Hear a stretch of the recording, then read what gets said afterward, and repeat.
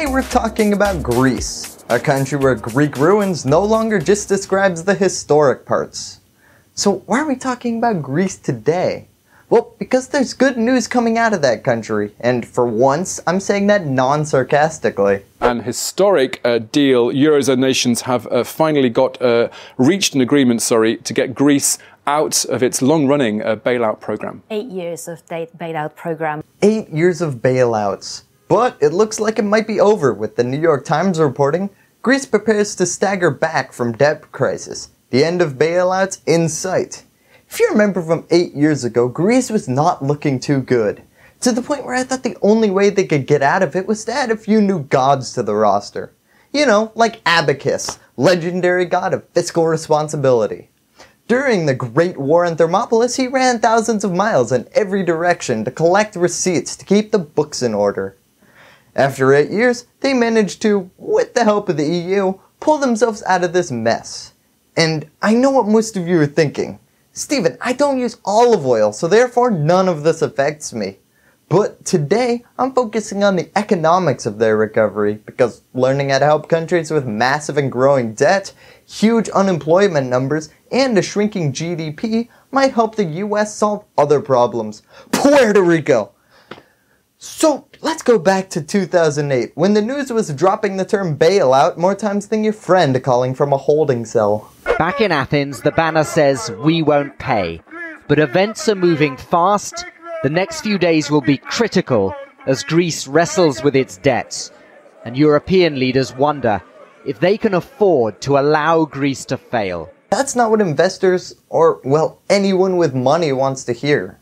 The problem does get a little complicated though because it's very much related to Greece's participation in the Eurozone. You see, Greece lied their way into the Eurozone in 2001 by hiding $10 billion worth of debt. Great start! That relationship sounds like it's gonna last. So what's the problem? I mean, they used a fake ID to get into the club. Sounds like it would be a positive for them.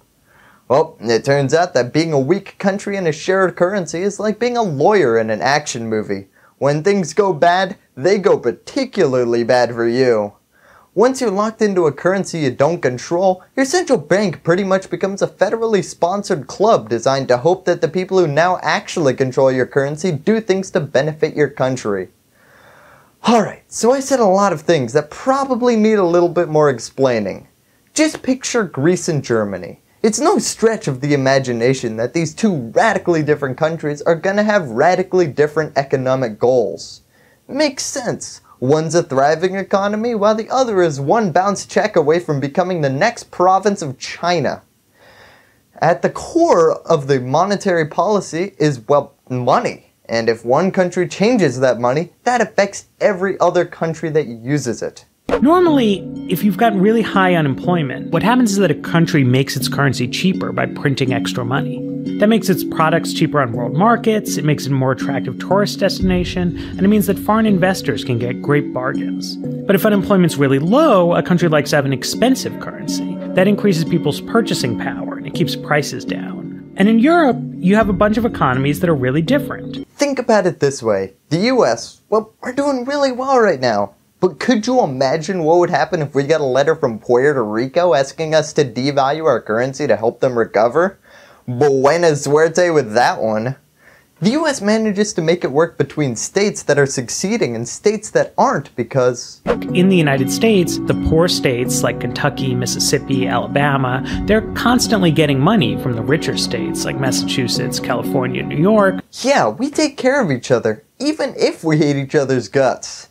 It would not be normal to have a Californian stand up and say, I don't want my tax dollars to go towards Medicaid in Kentucky because they're Americans. Now, I know you're saying Puerto Rico is an American protectorate, but this is more based on feeling than fact. On the other hand, if we were financing a different country's medical program, well, then that line item would disappear before we finish naming it. So that's the problem here. Greece was having a problem that could have been solved by printing more currency and inflating prices temporarily. But powerful countries with more control by virtue of the fact that they weren't facing imminent collapse weren't big fans of that idea. Because it's really the European community until you have to give something up. One last detail to go over before we start talking about is why even enter the Eurozone at all? Well, much like most terrible ideas, it started out great. Greece joins the euro in 2001, and initially it works out great for Greece because all of a sudden everyone was like, "Yeah, sure, let's let's lend the money." Um, so they borrowed lots and lots and lots of euros, except that didn't change the fact that their economy is a lot weaker than some of the other European countries. Yeah, go ahead and lend Greece money. Their economy can't be too bad. I mean, they got into the eurozone. Unfortunately, in 2009, it hit the fan when, after 2008, bankers realized that there was such thing as a bad investment and actually took the time to look into Greece's books and downgraded their bonds from A minus to junk, which skipped quite a few rungs. Just like that, Greek bonds went from good enough for retirement accounts to one ply short of toilet paper. Suddenly, Greece could no longer borrow money, which led to a ton of problems. So now that we understand all the problems that Greece had to overcome, how did they do it? I'd say they're between a rock and a hard place, but honestly, both of those sounds like favorable alternatives for Greece. Well, never fear, because economists are here. Take it away, news show that stole the soundtrack from a 1980s porn. You have the European Union led by Germany coming to the rescue, giving some assurance that Greece will not default on its debt. And that's brought to mind a lot of painful memories of the US bailout in the financial sector. A lot of people are angry about that still, and you're even seeing potentially some bailout rage in Europe about, you know, really should we be bailing out or rescuing nations? An IMF bailout. The number two cause of failed small governments, just behind discovering you sit on massive oil fields.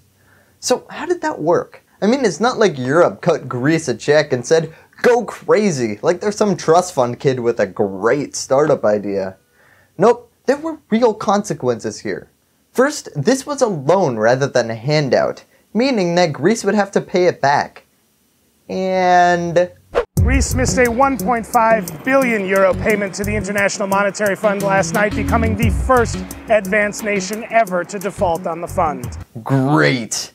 You bet we'll get to that. For now, though, the other requirement for this bailout was a massive decrease in government spending combined with an increase in value added taxes. Basically, something a government would only want to do if they'd taken out a life insurance policy on the country and were looking to collect. As you can probably imagine, things were not looking great. People were out on the streets, partially in protest and partially because with a 25% unemployment rate, what else are you gonna do? Go outside, get some fresh air. Don't be intimidated, but some graphs are about to pop up on the screen. I just added them for those overachieving economic enthusiasts like me who would be asking questions like, hmm, how does this affect bond yields? Basically, from 2010 to 2014, we have a period of everything going the wrong direction very, very quickly as the government continued to cut all public spending. It reached a peak in 2013 when the dust is beginning to settle in Athens following the approval of mass layoffs in the public sector by the parliament on Sunday. Over 15,000 face redundancy by the end of next year in a move which overturns the constitutional guarantee for civil servants to a job for life. So, what happened in 2014 to turn it all around? Well, after those cuts, the Greek budget actually showed a 1.5% surplus at the end of the 2013 fiscal year, and bond values started to rise. In fact, because bankers apparently have so much money they don't know what to do with it, at the end of that year, Greece went back to the bond market and were able to sell some bonds on what was actually some favorable terms. So, as neat as it would be to tie all this up in a bow right now and say, well, that's what happened, 2015 happened when. There is no other way to put this. Here in Greece, a financial calamity has just arrived. Greece has defaulted on a $1.7 billion payment to the International Monetary Fund. Dang it, Greece, you're throwing off the whole narrative structure of this report. Or maybe they aren't. Here's Greece's leader, Alexander Tsipras. The cost of a bankruptcy of one country which has a European central bank exposure of more than 120 billion is massive. It won't happen. That's my estimation. The president of Greece was actively encouraging people to vote against new austerity measures that would have gotten Greece more bailout money. because partially he didn't think that Europe had the balls to throw Greece out of the Eurozone, which he was right about, and partially because he had other sources of income again.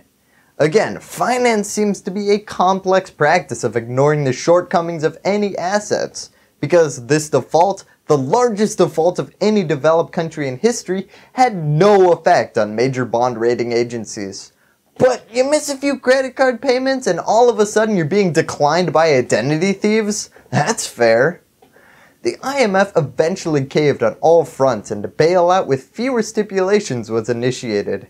Since then, we've seen a continued increase in austerity, taxes, and growth, as well as Greece successfully making payments on their debts.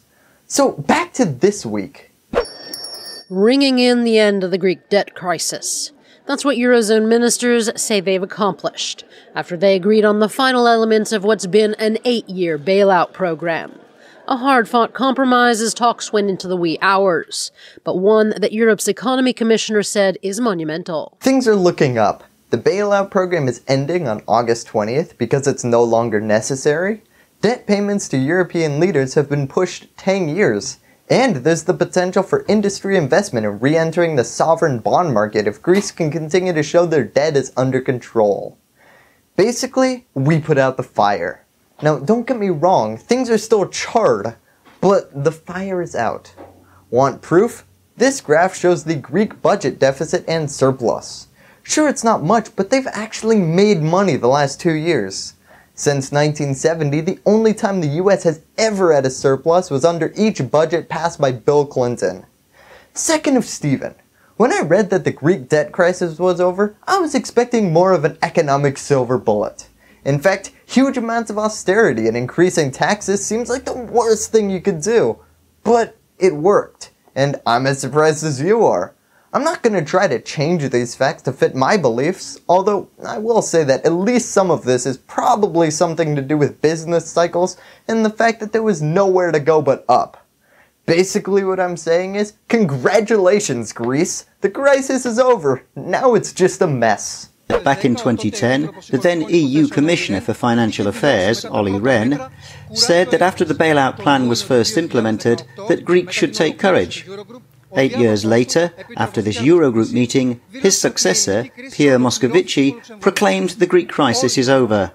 But all sides admit that a continuous effort is required for the real economy to recover. Thank you, and that's all I have to say about that.